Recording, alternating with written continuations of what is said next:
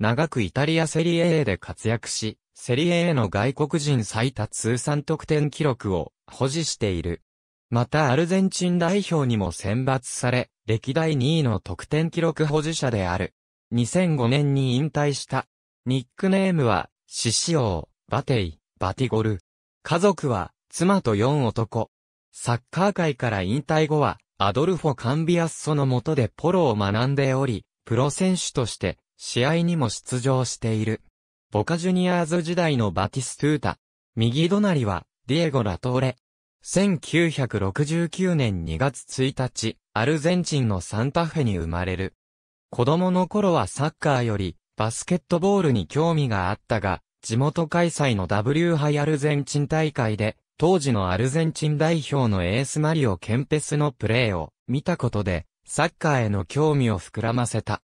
子供たちで草サッカーに興じ、大会に出るため皆でチーム、グルッポ・アレグリーヤを結成。ただ、父親が学業や家業の手伝いをおろそかにしないことを求めたため、16歳までは地元の大会に出場する程度にとどまった。16歳で地元チームのプラテンセのジュニアチームに所属。1986年17歳にして、ようやくバスケットボールからサッカー選手へと本格的に転向。強いフィジカルでゴールを奪うプレーぶりを当時マルセロ・ビエルサが、下部組織の指導者をしていたニューウェルズ・オールド・ボーイズが、目をつけ、1987年に移籍した。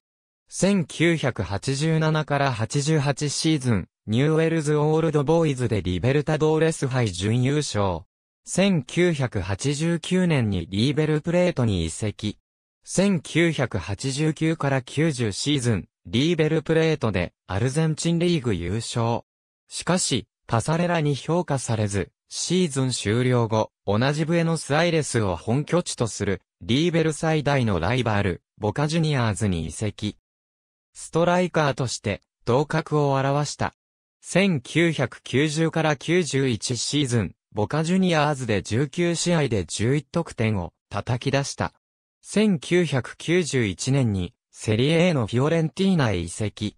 未節のジェノア戦で、セリエ A 初ゴール、20節、フォツジア戦で、セリエ A では、初のハットトリックを達成。ラザロに監督の辞任に伴い、就任したラディーチ監督に見出され、レギュラーの座を手にした。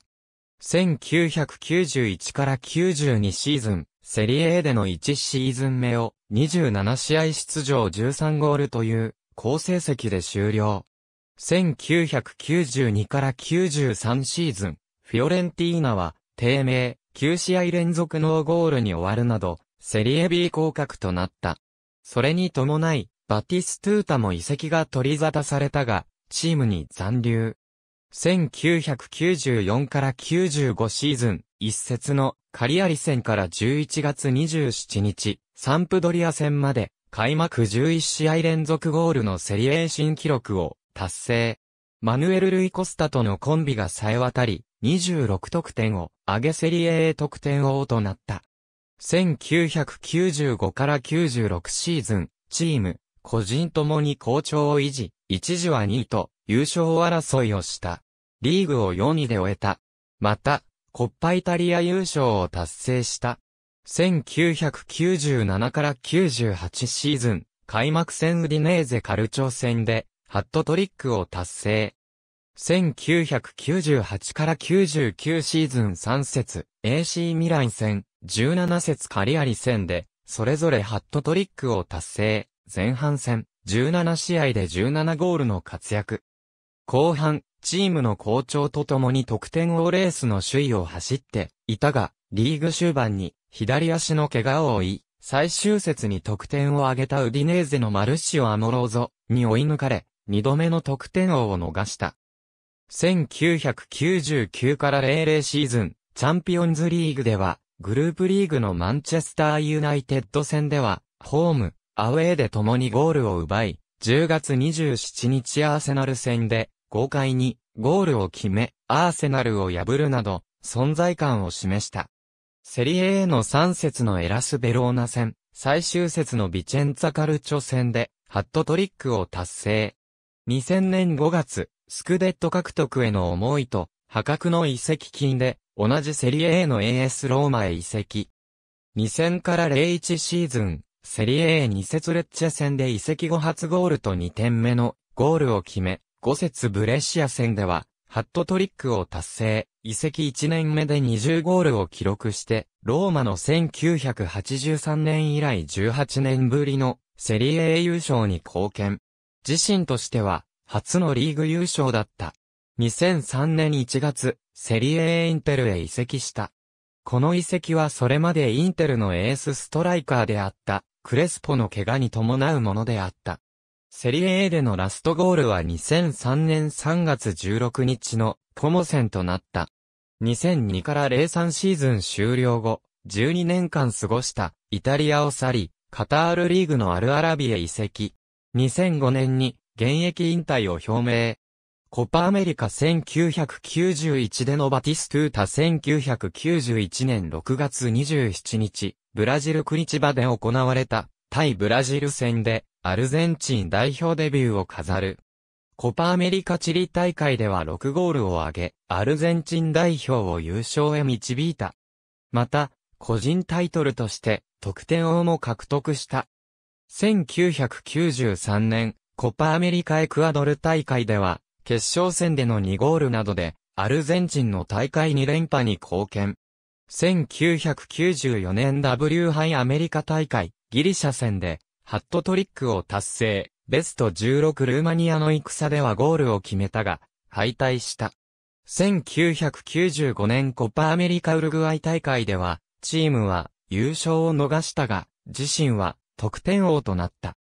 1996年から1997年、W 杯フランス大会、南米予選で、当初バティストゥータは、ダニエル・パサレラ監督に出場機会をあまり与えられていなかったが、最終的には、レギュラーとして代表に復帰した。1998年 W 杯フランス大会。初戦は W 杯初出場である日本戦。ここで1点を決め、勝利に貢献した。また、ジャマイカ戦では W 杯記録となる2大会連続のハットトリックを決めた。大会を通じて5ゴールでシルバーブーツ賞、チームはベスト8の成績。2002年 W 杯日韓大会。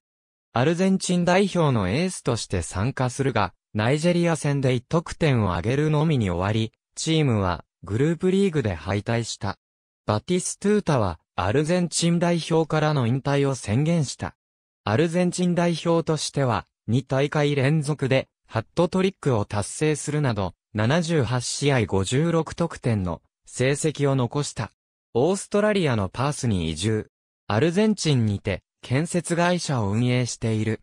2011年、2014年、2015年もともとは、裕福なバティストゥータ家だったが、父が事業に失敗して困窮し、養鶏場の経営を開始。その鶏肉と卵ばかりを食べて育ったガブリエルは、肥満児となり、牡蠣のように、 El Gordo が、ニックネームとなった。ニューウェルズに移籍する頃も太り気味ではあったが、ビエルサに、ひときわ厳しいトレーニングを課せられた結果、体重が落ちた。現役時代も食事には気を使っていた。よく使われる愛称はバティ。バティゴル。また、口述のフィオレンティーナでの活躍から、フィレンツェの英雄と称される。その他にも荒ぶるその容姿からレ、レオーネとも言われる。少年期には太り気味だったことから、エル・ゴルドと言われたこともある。陸上選手という前歴があるが、足元のボールキープはおぼつかないもので、付けられたニックネームは、エレファンテ、送迎の車の中では、トップチームへ昇格する貪欲な執着心をスタッフに、とうとうと語り打ち明け、このままうずもれる気はないことを熱弁している。その後、バランスの良い、恵まれた体育と、元々のアスリートとしての資質、多少のタックルでは当たり負けしないタフなプレーで、ストライカーとしての頭角を表す。自身のユニフォームを手に取るバティストゥータ1992から93シーズンに、フィオレンティーナは思うような成績を上げられず、セリエ B に降格したが、バティストゥータはフィオレンティーナに泊まり、翌年の再昇格へ大きな役割を果たした。その後1994から95シーズンには、セリエ A 得点王、1995から96シーズンには、チームのコッパイタリア優勝に貢献した。最終的に合計9シーズン、フィオレンティーナに在籍し、通算269試合出場、167ゴールという結果を残した。セリエ A 通算は318試合184ゴール。彼はフィレンツェの英雄と称えられ、フィオレンティーナのファンは本拠地アルテミオ・フランキの前に銅像を建てた。2000年にエースローマへ移籍。フィオレンティーナのファンは悲しみ、また憤りのあまり彼の銅像を破壊してしまった。この一席は、バティストゥータ自身が、フィオレンティーナでは成し得なかった、スクデットを、どうしても獲得したかったことと、多額の移籍金により、クラブが断りきれなかったことが理由であり、彼自身、フィオレンティーナへの愛は普遍であると公言している。ローマへの移籍初年度に、オリンピコで、フィオレンティーナと対戦した際には、同点で迎えた終了間際にミドルシュートで、決勝点となるゴールを奪った。しかし彼は、喜びの感情を表すことはなく、チームメイトに祝福される輪の中でうつむいたままであった。彼のフィオレンティーナへの愛着を表すシーンとして、またスクデットを獲得したチームに、数々のゴールによって、最大限に貢献した彼の献身を象徴する試合として、その年のハイライトシーンとなった。キャリアの最後はフィオレンティーナでプレーしたいと述べるなど、フィオレンティーナへの変わらぬ愛情を示していた。小さな頃からバスケットボールが大好きで、将来の夢は、バスケットボールのアルゼンチン代表として、オリンピックに出場することだった。その一方で学業でも優秀な成績を収め、医者を志もした。ありがとうございます。